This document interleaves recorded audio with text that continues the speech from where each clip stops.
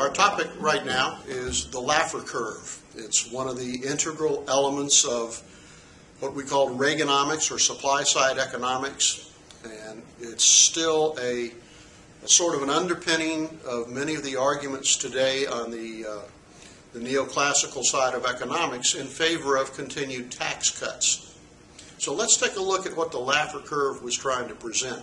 Again, named for Arthur Laffer, who presented this to uh, some conservative individuals uh, who adopted it as part and parcel of the Reagan economic plan to justify their, their rather large tax cuts at the time, uh, arguing that those tax cuts would not reduce the revenues collected by government and therefore create larger deficits. So let's take a look at the way the Laffer curve theorizes uh, revenue collections, tax revenues collected by government, will behave when marginal tax rates rise. Remember, marginal tax rates are the, the tax rate you pay on the last dollars that you earn. Now, to begin with, if you had a zero tax rate, of course, you wouldn't be collecting any tax revenue. So there's our point of beginning. And as you begin to raise your tax rates, you would expect that people will pay correspondingly more taxes. And so you'd see a behavior or a relationship with a positive slope on it. Higher tax rates, you collect more money.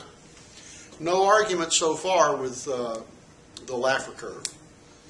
But at some point, the argument goes, when you begin to raise tax rates even higher, your tax collections don't continue in that sort of linear, one for one, here we go fashion that in fact and instead, at some higher rate, your tax collections begin to not grow, not increase as much as they had been. And if you keep raising taxes, your tax collections, while they're growing for a while, will reach a maximum and in fact at very high, what we call prohibitive, prohibitively high taxes, your tax collections by government will decrease. And this is kind of the range we want to talk about right in here. So the argument is if you raise taxes on people, and we're talking personal income tax, if you raise taxes on people high enough, they're going to find ways to stop paying as much taxes. Now, why would that occur? Why even would tax revenues slow down their growth rate, even though they're still growing? Well, think about this, and, and we'll take an extreme to make the, the point. Suppose that your marginal tax rate were 90%. Just assume that for a minute. And I offered you the chance to work some overtime Saturday this week, and you would make $500. I'll pay you $500. But if you're paying a 90% tax rate, how much money are you going to keep? And the answer is only 10% of that $500. So I would be offering you the chance to make $50 for working all day Saturday. To which you might say, no, I think I'd rather go fishing. All right? So very high tax rates, at least in part, provide a disincentive to work, a penalty for working harder because you keep so little of what you get. So there's one reason. With higher tax rates, people won't work as much because it's not worth it to them for the after tax money they get to keep. A couple of other things going on. Suppose, suppose that I offered you that $500 and you thought, well, let me go to my accountant or my tax attorney and see if they can find me some kind of loophole so that I don't have to pay taxes on this money.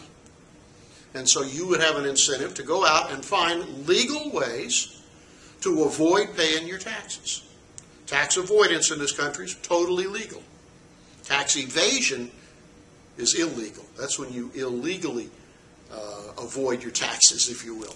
So you would talk perhaps to your accountant, and he would say, well, if you do this and you claim that and you did the other, uh, instead of paying 90% on that money, you'd only have to pay about 4% or something extreme, okay?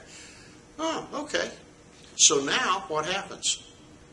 You're keeping most of that $500 and you're paying very little extra taxes, maybe, maybe none. So what happens to tax revenues at those high tax rates? Again, Government's not going to be getting any taxes or very little taxes out of that $500. And then the third extreme, right? Your accountant looks at you and says, man, I don't know any way to give you a tax break or a tax loophole to hide this money. And you're thinking, well, I really want that money. I really need that money. Hmm. Well, when I file my income taxes, I get to claim an exemption for myself, my wife, and my two kids. And that reduces the amount of taxes I have to pay. I'll tell you what. This year when I file taxes, I'll also claim, let's see, me, my wife, my two kids, and Spot, our dog. I'll just call Spot one of my exemptions, one of my dependents, and hope the IRS doesn't catch it. Or maybe I won't even show the $500 on my tax return, if I can find a way to do that. And so now you're not avoiding, uh, avoiding taxes, you are practicing tax evasion. You are illegally hiding your income. Do you think people with very high tax rates would have some incentive to do that? And the argument is, of course, human nature. So the, the bottom line is, at some tax rate, I don't know what it is, at some tax rate, a maximum marginal tax, any tax rates above that will cause the government to collect fewer dollars in revenue. So if your tax rates are somewhere up in this range, above that maximum collection, right? This would be the maximum dollars collected by government. If you raise your taxes above that, you collect less money, right? You're up in here somewhere. Read down. And so we describe this as the prohibitive range for tax rates. The prohibitive range. So that if your, if your economy, your country, your, your government has tax rates up in here, they are truly punitive. They're punishing people for working and making extra money. They're providing or becoming a disincentive to work, a, an incentive to cheat. And so take it one step further. If in fact your economy is operating up here, point A, and you were to reduce your tax rate from this level one down to a lower level down here, level two, what would happen?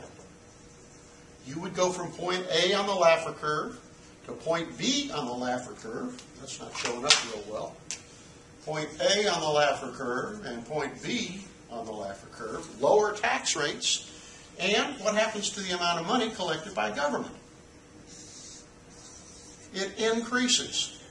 That in fact, lower tax rates could result in more people working, people working more often, less tax avoidance, less tax evasion, and you could in fact, you would in fact, increase tax revenues with a lower tax rate.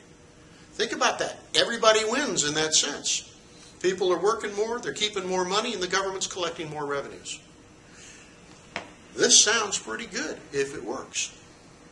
And that was part of the background behind the Reagan administration's approach to supply side economics on how to stimulate the economy through an emphasis on shifting the aggregate supply curve, not the aggregate demand curve, a la Keynes. So, Laffer curve, part and parcel of supply side economics. Keep it in mind. Uh, and yeah, you can ask the question did it work? Thanks.